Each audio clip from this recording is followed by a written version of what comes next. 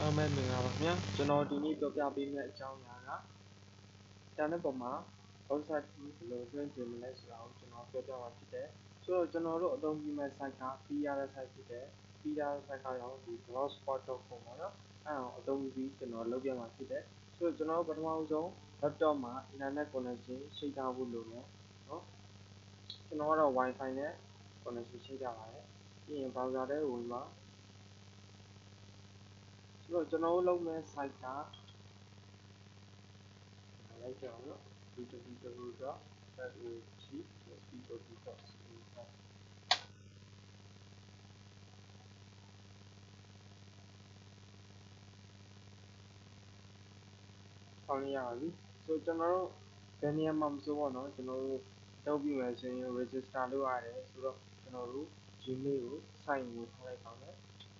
ဖောင်းရပါပြီဆိုတော့ကျွန်တော်တို့ဘယ်နေရာမှာမဆိုပေါ့နော်ကျွန်တော်တို့လုပ်ပြီးမယ်ဆိုရင် register လုပ်ရတယ်ဆိုတော့ကျွန်တော်တို့ Gmail ကို sign ဝင်ထားလိုက်ပါမယ် Gmail sign ဝင်မယ်ဆိုရင်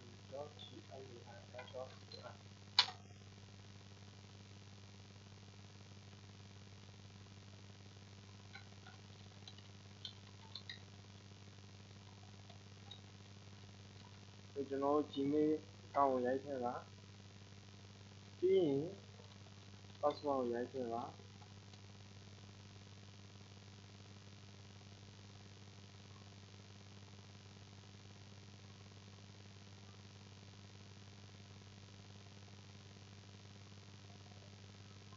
ကျွန်တော်တို့ Gmail ပွင့်လာပြီပေါ့နော်ခဏလေးဆောင်းလိုက်ပါနော်ဆိုတော့ဒီထက်ပြန်သွားမယ်နော်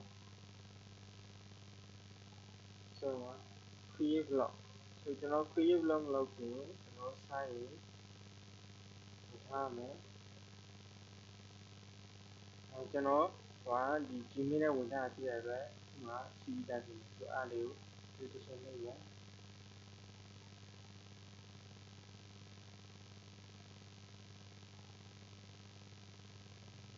ဆိုတော့ကျွန်တော်မှာအရင်တော့ရှိပြီးသားအာဘလော့ရှိရပေါ့နော်အားကြောင့်ဆိုတော့ကျွန်တော်တို့ဘယ်လိုပြန်တော့ပါမလဲ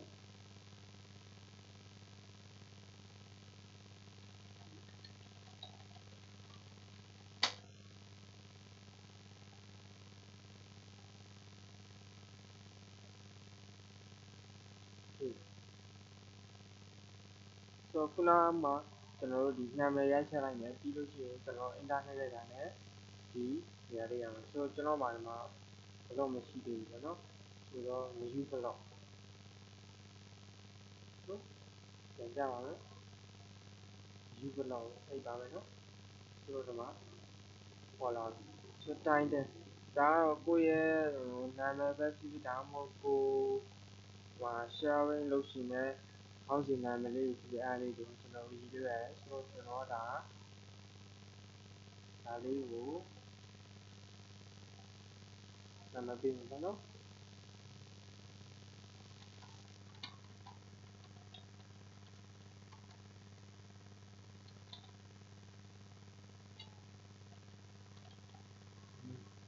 ဆိုတော့ address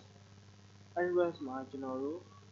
ကြက်တဲ့နာမည်ပေးလို့ရတယ်ဆိုတော့ ဒီလက်ခံထားတာကြာရင် hyphen လေးပေါ့နော်ဆိုတော့ဥပမာကြာကြာမယ်ဒီ id sharing blogspot.com ပေါ့နော်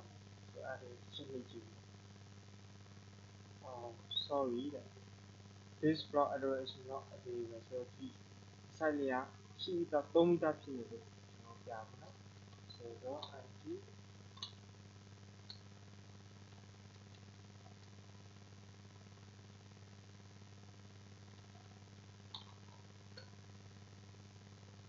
keeping ဆို အဲ့ဒါ permission လေးကြည့်မယ်ဆိုကျွန်တော်ဒီလိုမျိုးအပြာရှင်းလေးပြမှာကျွန်တော်တို့ blog address ကအသုံးပြုလို့ရမယ်လို့ပြောတာဆိုတော့ဒီမှာအောက်မှာ thumb ရှိရယ်အဲ့ဒါမှကျွန်တော်ကိုကြိုက်တဲ့ဟာလေးရေးလို့ရပါတယ်ကျွန်တော်ကတော့ကောင်းလေးပဲထားပါမယ်နော်ဒီမှာကို specialization လုပ်ရှင်တဲ့ဟာလေးလိုက်ရှင်လုပ်ရှင်တဲ့ဟို ဘာသာရပ်လိုက်ပေါ့နော်ဆိုတော့ဥမာအစားအစာတွေဓာတ်ပုံတွေဆိုရင်သူကဘလော့ကဘယ်လိုပုံစံမျိုးရှိလဲအဲ့လိုပေါ့နော်စသဖြင့်ရေးလို့ရပါတယ်ကျွန်တော်ဒီဒီပုံစံလေးပဲကြည့်ပါမယ်ပြင် free blog ကိုနှိပ်ပါမယ်နားလေးဆောင်ပါ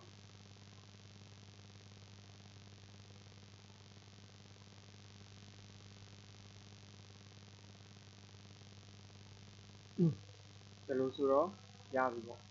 ဒီကျွန်တော်တို့ဒီ ကောင်းလေးကိုကြည့်နေတယ်ဆိုရင် view blog လေးကိုနှိပ်ပါ id knowledge sharing platform ဆိုကျွန်တော်ခုနပြောခဲ့သလိုပဲဒီ blogspot တွေမှာဒီ hyphen လေးကိုလက်ခံပါတယ်နော်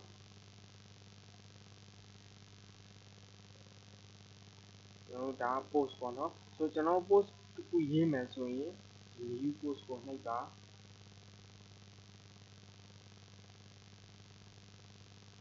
post time ကျွန်တော် post time ထဲမှာကိုကြီးစံကောင်းစီရေးမယ်ပြီးတော့ကိုရေးရှင်တဲ့အကြောင်းအရာကိုရေးမယ်ဆိုတော့သူကအတမဘိုးတင်မဲ့ဟာလည်းပါတယ်ဆောင်းစောင်းမဲ့ဟာလည်းပါတယ်အနာလိုင်းကြားမဲ့ဟာလည်းပါတယ်နော်သူမှာ link လေးတွေလည်းရှင်းလို့ရပါတယ်ဆိုတော့ link ရှင်းလေးကိုကျွန်တော်ဥပမာပြောပြပါမယ်ဆောင်းလို့ဆိုပြီးတော့အဲ့ဒါလေး select မှလိုက်နော်ပြီး link ဆိုတာလေးနှိပ်လိုက်ဆိုတော့ကျွန်တော်ဒီဒီနေရာမှာကျွန်တော်တို့ download ပေးခြင်းတဲ့ link လေးကို paste လုပ်လိုက်ပြီး okay နှိပ်လိုက်ပါဒီလိုဆိုရင်ကျွန်တော်ဒီ download ဆိုတာလေးနှိပ်လိုက်တာနဲ့သူရဲ့ link တွေကိုတစ်ခါတည်းရောက်တော့မှာဖြစ်တယ်ကျွန်တော်တို့ဒီမှာတက်ပုံလေးထည့်မယ်ဆိုရင်ဒီကောင်လေးထည့်မယ် video file လေးထည့်မယ်ဆိုရင်ဒီ video လေးကိုထည့်ပါမယ်ဒါကြရင်ကျွန်တော်တို့ဘယ်နည်းများနည်းလဲနည်းသူက number အလိုက်ရှိတာကျွန်တော် share ပူလိုက်ဒီထည့်တာ300 350လွယ်ပါတယ်ဆိုတော့ဒီမှာ level ဆို level ဆိုတော့မှာကျွန်တော်တို့ဟိုဓာတ်ပုံပညာနဲ့ပတ်သက်တာဆိုလို့ရှိရင်လည်းဟိုဟိုခီးသွားတဲ့ဆိုင်တာတို့ဒါမှမဟုတ်တခြားနေရာနဲ့ဆိုင်တာအဲ့လို level လေးပတ်သက်ခွဲထားရရတယ်ဒီနာမှာဆိုရင်လည်း software hardware အဲ့လိုမျိုးပေါ့နော်ခွဲထားလို့ရတယ်အဲအဲ့ဒါလေးဆိုပေါ့နော် level လေးတက်လို့ရပါတယ်အဲ့လေးတက်ပြီးအားလေးတွေကျွန်တော် post ရေးပြီးဆိုတာနဲ့ကောင်းလေးကိုရှင်းနေလိုက်ရင်ရပါမယ်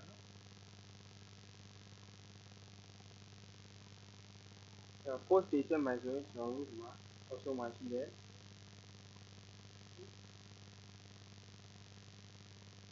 education ကိုပြင်ပြီး comment comment ကတော့ကျွန်တော်တို့ရဲ့ post မှာကျွန်တော်တို့ blog ရဲ့ blog မှာ comment လာရတဲ့သူပေါ့နော်ဟို comment လာရတဲ့သူတွေကကြာရင်ဘယ်လိုပြောမလဲ Gmail ရှိမှလာလို့ရပါတယ် ဟိုဒီတိုင်း blind လာရတော့မရပါဘူးဟို page page ကကြာရင်ကျွန်တော်တို့ဒီຢာမှာမှာဒီဒီပုံစံမျိုးမဟုတ်နဲ့တခြားပုံစံတစ်ခုပေါ့နော်စာရဲနောက်တစ်ရွက်ပေါ့နော်ရှင်းအောင်ပြောရမှာဆိုအဲ့လိုပုံစံမျိုးလေးလုပ်တဲ့ဟာဖြစ်တဲ့ layout layout ပိုင်းကကြာရင်ကျွန်တော်တို့ blog ရဲ့အဲအပြင်အစင်းပေါ့နော်ဆိုတော့ဒီမှာ favorite icon ရှိမယ် icon ရှိပါမယ်ဒီမှာ နော်ဒီရှိမယ်ဒီမှာ search field blog နော်ဒီမှာဘာလို့ရှိမယ်ဒီမှာ blog အရှာဆိုတာ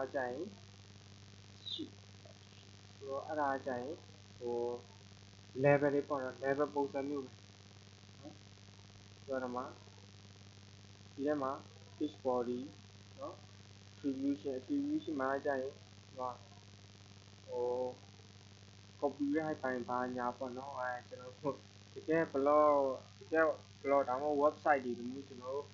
ရှင်းရှင်းရအောင်တွေ့ရေးလို့ရတယ်ပေါ့နော်အဲဒီပါကျွန်တော်တို့ကိုဒါလေးကြောင်းကြောင်းလိုက်ခြင်းဆိုရင်ကောင်းလေးကို edit လေးကိုနှိပ်ဒီကျွန်တော်တို့ကြောင်းလို့ရတယ်ဒီ save arrange လေးပါဆိုတော့တန်းတန်းကကြာရင်ကျွန်တော်တို့ရှေ့ပြောခဲ့သလိုပဲ ကို blog ရဲ့အပြင်စင်ပေါ့ဒါ preview အနေနဲ့ကျွန်တော်တို့ကြည့်လို့ရတယ်ဒါကြရင်ကျွန်တော်တို့ desktop အမှု laptop တွေမှာကြည့်တာဟော mobile တွေမှာကြည့်တယ်ကျွန်တော်ပြောင်းမယ်ဆိုရင်ဟောရှိရတယ်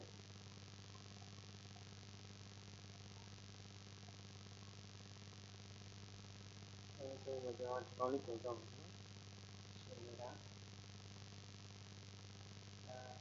လမမဟုတ်ဘဲနဲ့သူပြေးတဲ့အတိုင်းမဟုတ်ဘဲနဲ့ဥမာကိုယ့်ဘာသာကိုကြောင်းကျင်တယ်ဆိုရင် customer ဆိုတာလေးကိုနှိပ်ပါ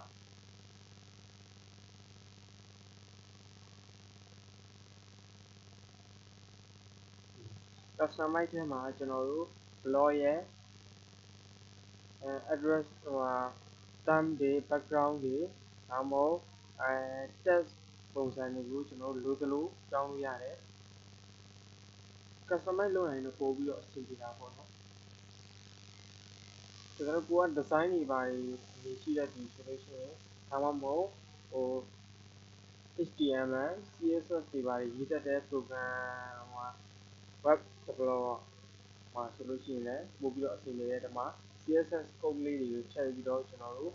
သုံးလို့ရတယ်ပေါ့နော် background ရှိမယ်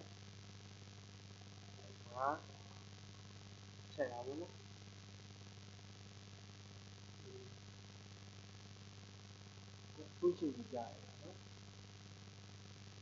ပြီးတော့ဒါပြုတ်ဝင်နေလို့သုံးရတယ်နော်ဆက်ပြန်သွားမယ်ဒီ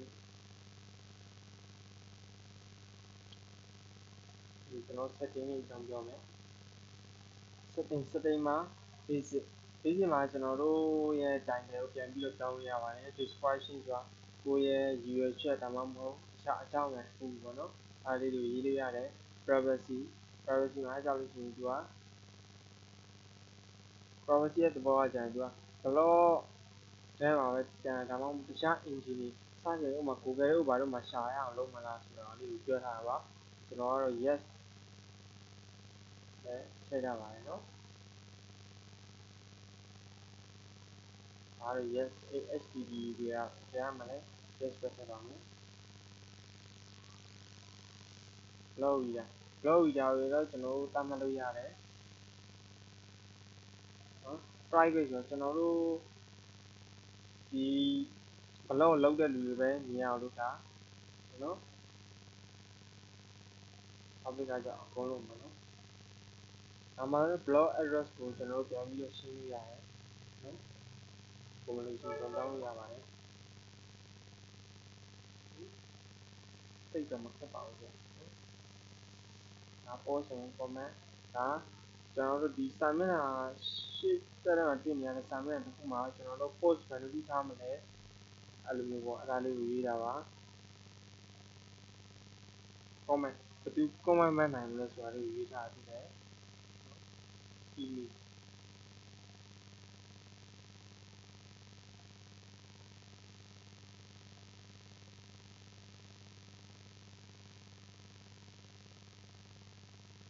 ဒါကြကျွန်တော်တို့လုပ်တဲ့ blog blog စပြီးလုပ်တဲ့လူတွေက blogger လုံးမလားဒါမှမဟုတ် Google Plus မှာ Google Plus နဲ့ဝင်မလားဆိုတာလေးကိုဟိုရေးရတာဖြစ်တယ်ကျွန်တော်နောက်ပိုင်း Google Plus ကစက်သိမ့်မယ်လို့လည်းကြားတယ်ဒါကြောင့်ကျွန်တော် blog blogger ဆိုတာလေးကိုပဲတုံးဝင်တယ်ဆိုကျွန်တော်တို့ဒါမှကလီလို့ရတာတော့ဒီ layout ထဲမှာပေါ့နော်အဲလို့ဆိုကလီလို့ရတယ်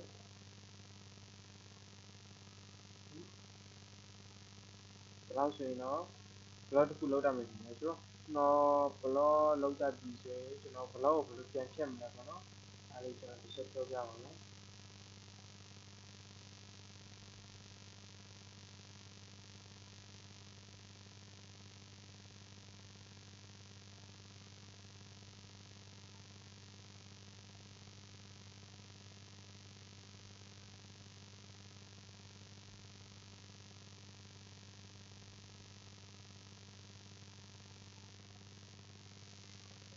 တော့ကိုပြန်ချက်မယ်ဆိုတော့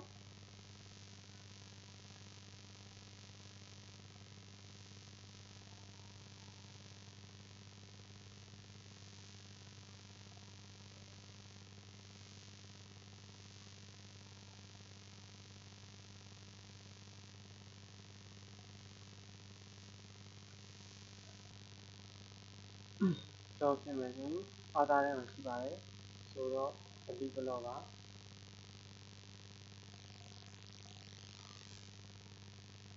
ဆိုတော့ဘလော့ delete လုပ်ရင်ကကျွန်တော်ဘလော့မှာရှိတဲ့ post တွေပါတယ် download လုပ်ခိုင်းပါတယ်ကျွန်တော်က download မလုပ်မလုပ်ချင်တဲ့အတွက်ကျွန်တော်အားလေးမလုပ်တော့ဘူး farming daily လို့ပြောတယ်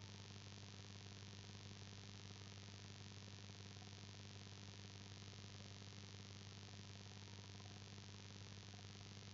ဲ farming daily ကိုနေ့ကဒီတော့ကျွန်တော်တို့ဘ လော့မရှိတော့ပါဘူးဒါတော့ဆိုရင်တော့ကျွန်တော် internet